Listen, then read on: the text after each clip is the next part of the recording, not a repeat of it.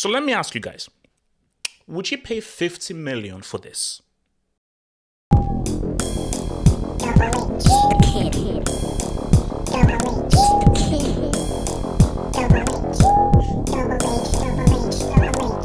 Maybe I'm the fool here.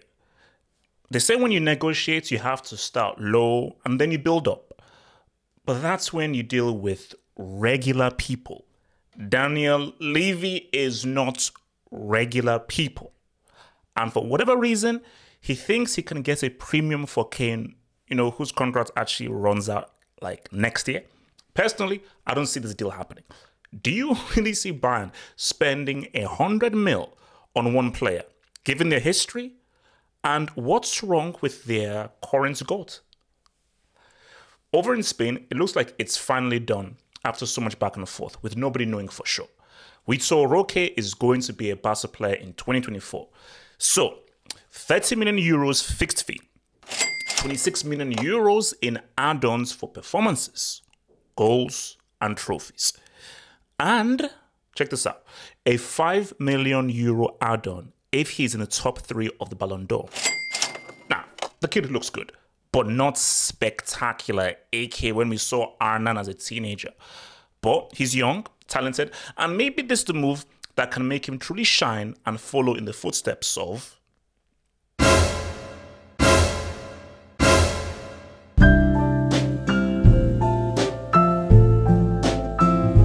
heading to Italy and the home of the champions, and all eyes on Victor Osimhen and whether the highly rated striker will move this summer. Yeah, I'm still salty. I'll always be salty.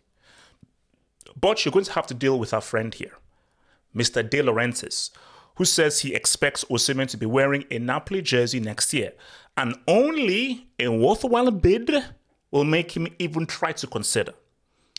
And if that happens, he says he can replace the Vic. And over in Manchester, someone must be smoking that good stuff. So let me ask you guys would you pay 50 million for this? Yeah, exactly. So why have Man United reportedly put a 50 mil price tag on the mag? Maybe someone will meet them halfway and do something like, but honestly, he shouldn't go for anything more than. Now, as for Onana, he is very close to joining, and the Hag expects to confirm his signing sometime this week. Now, what would be the reaction of the De Gea FC or De Gea sexuals when Onana makes his first mistake? Now, let's look at Chelsea, where Pochettino is in the full swing of things and getting to grips with the team. And there are reports that he has his eyes on these two. Look, Chelsea are in need of a pure striker. It's me streets. None of my friends speak. We all trying to win. No, no, no, no, no. Now, Vlahovic or Osimhen for me would actually be ideal. Either of those guys, let's ride. Just as long as it's into the sky. Asking for forgiveness for my sins is I break bread. Now, you remember when the Chinese Super League were making all those deals back in the day? I think the Saudi Pro League are far more serious. The latest is Milinkovic Savic, who is close to making a move over to that Pro League. Now, he is 28 years old. He's right in his prime, and this would yet be a great coup for the league. They've already acquired Benzema, Kante, Firmino, and it looks like they're not done yet.